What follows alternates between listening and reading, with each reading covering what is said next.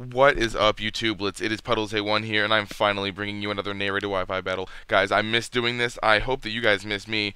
And yeah, I have an NU battle with the Expendables team. Um, and this is against the Blitz 47. I did battle him previously, and this is just like a, a, a for fun battle. We were on Skype, and we just did it. So, like I said, NU, and the, really the only thing I'm scared of is Gorebyss. So that's about it. Here we go, guys. I'm going to lead off with Glalie because that's the standard thing, and he's going to lead off with Sawk. Now, I saw the Sawk, and I was like, he's probably going to lead off with it because it's Scarf. And uh, Sawk just screams Scarf because their names are almost exactly the same. But I outspeed here, and I go for Spikes, and I was like, oh, okay, he's not running Scarf. That's weird. But, um... I almost went for the Ice Beam just because I knew I would live uh, with my Focus Sash, and I would just like to get some uh, damage off um, after his close combat thing. But this way, um, it's easier because now I get up spikes and I get to hit him hard with an ice beam. Um, and he is at minus two, so I could literally go into anything I wanted to to take him out. Now, um, I probably made a, a, bad play by going into my Scarfer, my um, excuse me, my Haunter, um, because I probably could have went into my Golem and gone for Sucker Punch to take him out because I am adamant and uh, max uh, attack, so that probably would have done a lot, but I, I don't know why I didn't do that. And now he goes into his Gorebyss, and that one layer of spikes is really going to come in handy because I do just enough damage uh, with the spikes, and then I get the poison after the Sludge Bomb, so that plus uh, the poison damage and the spikes damage, I will be able to take out the Gorebyss. Really the only thing that I was afraid of this entire battle, because um, I'm stupid and I forget that you can't uh, shell pass, smash pass, whatever, and that's I was just afraid of that. So now I'm going to switch out, save my Scarfer, because I'm pretty sure that um, his Braviary scarfed, and I think Braviary speed is 100 or it's 90. I'm not entirely sure. I know its HP is 9 or is 100. So I'm going to switch out and go to my Shelgon because that's my physical wall. And now I know he's going to switch out into Torkoal, so I'm going to switch out, go into my um, I was gonna say Torterra, but my Golem. Wow, it's been a long time, guys. I go into my Golem, and now um, I know he's gonna go for the Protect, but I just want to trick him into thinking that I'm Choice Banded by going for the Rock Blast. Now here, um, I go for the Rock Blast again because I want to, you know, convince him that I'm Choice Banded. And I only get two this time, but it does do a decent chunk as he goes for the Stealth Rock. And I just let that kind of happen. And now I thought maybe he would go for the um, Toxic. So I'm, I'm going to keep going for the Rock Blast. Now, I do have the Earthquake, and I could have easily went for it, but I wanted to I wanted him to get in the mindset that, that this Golem is choice banded. He's gonna go for the rapid spin, get rid of the spikes. That's fine. And um, he doesn't see leftovers. So now um, because I actually run Lum Berry, on uh, my golem because I don't like to get burned and stuff. And if it's a Pokemon with sturdy and you get hit once, leftovers isn't going to bring you back up to sturdy. Well, except in this case. And now I actually went for the Earthquake as he goes for Protect. And I'm just kind of upset now. So I'm going to go for the Rock Blast as he switches into Ludicolo. I get one crit and then I get another crit. So I was like, oh man, this Ludicolo is almost gone. And then I look at Ludicolo and then I look at my team and I'm like, Ludicolo is a big threat.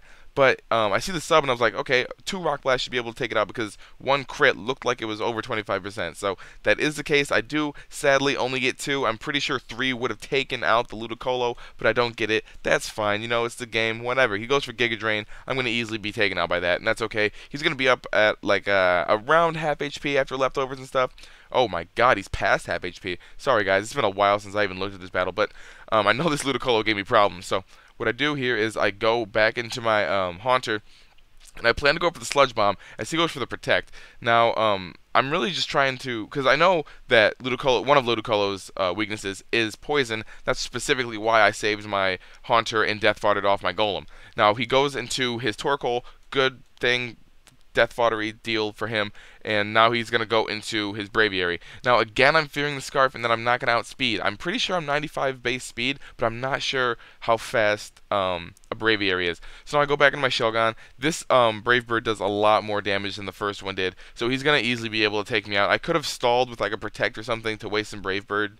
Um, PP, but that's pointless. So now I'm going to go, excuse me, now I'm going to go into my Wartortle here, and I'm pretty sure he was going to switch out, so I go for the Toxic. I make the good prediction, hit the uh, Ludicolo on the switch in because I knew he would come into it, and now I predict him to go for Leech Seed because seeing Giga Drain and Sub and Protect, I'm almost positive he has Leech Seed. So seeing that, I'm going to go for the Rapid Spin to take that off to make him waste a turn and rack up that poison damage some more.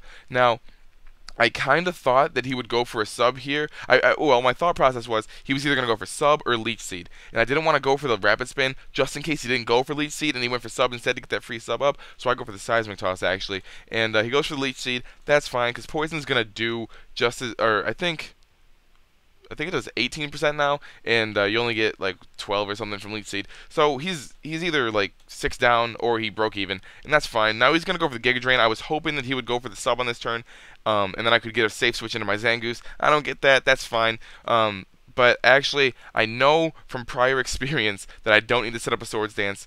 Um, but I do it anyway, and I'm so stupid because I know for a fact that setting up a swords dance is completely pointless because I am Life Orb, and a stab return from max attack Life Orb Zangoose is going to destroy anything, and just because I have an app on my phone that can do damage calculations, I calc the damage on um, a max HP, max defense Ludicolo with a stab return, and I'm pretty sure like it did 80% or higher. So I knew I could have taken it out, but then he goes into his Earth Ursaring, and I see his Earth Ursaring outspeeds me, so I'm pretty sure it's Scarfed. And now I'm going to go for the Sludge Bomb, hoping to take it out, but I actually don't, and it does like about half, so I was like, whoa, that's that's really weird. And I don't get taken out by the ice beam. The ice beam? the ice punch. Man, guys, I've been out for a long time. But uh, luckily I live. I get off the sludge bomb. And now I'm not playing games anymore. I don't care if he's scarfed. I'm going to go for the sludge bomb anyway. I do outspeed. I don't take it out, but I do get the poison. So I'm thinking, good deal. He's going to take me out. Brave Bird recoil bring him low enough to poison to take him out. But that's not the case at all and um, I just barely missed out on that KO. And all I have left, I think, is my Wartortle. And he goes for frustration, and I was like, "Oh my God! If you went for Brave Bird, that probably would have been game over." But I do get the rapid spin kill. That is GG Blitz 47, guys. It has been so long since I've said this, so I'm really excited to say it. You guys, if you click from the Ursaring all the way to the Sawk, it's gonna take you directly to Blitz 47's channel. Please go like his stuff, his content, do whatever. Click from the Haunter to see my last video. Click the Glalie to see my next one when I upload it. Follow me on Twitter. Follow me on Tumblr. Add me on Skype. Follow me on Instagram if you guys want. Puddles A1 is the name throughout all that. You guys, it is great to be back. More battles will be up soon. Um, and yeah, peace, love. Later, Gators. Man, that feels good to say.